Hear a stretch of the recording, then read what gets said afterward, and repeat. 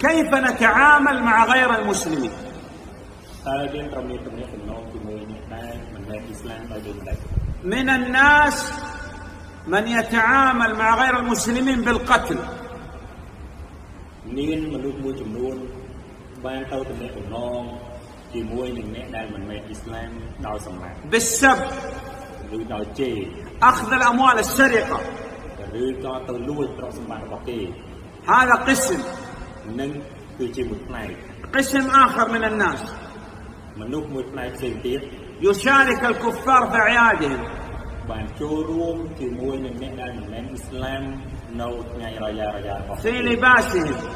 ទាំងក្នុងសម្លៀកបំពាក់របស់គេ تنظر إليه تظن أنه كافر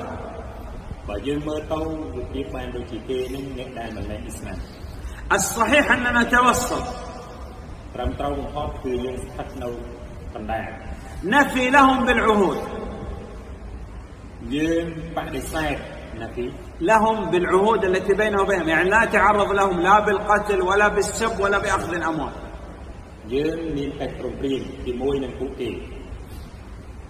ومع هذا لا يمكن نشارك هؤلاء في أعيادهم واحتفالاتهم أو في لباسهم បើទោះជាមានកិច្ចព្រមព្រៀងក្នុងការតំណែងតំណងល្អជាមួយគ្នាក៏ដោយក្នុងនោះគឺយើងជាអ្នកអ៊ីស្លាមគឺមិនត្រូវចូលរួមនៅក្នុង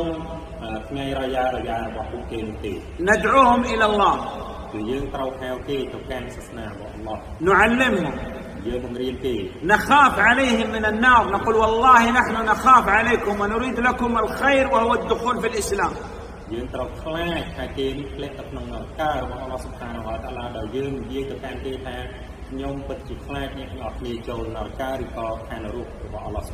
المسلم لا يغش الكافر يعني لا يكذب على الكافر يقول له الصدق يقول أنت لو بقيت على ما أنت عليه أنت في النار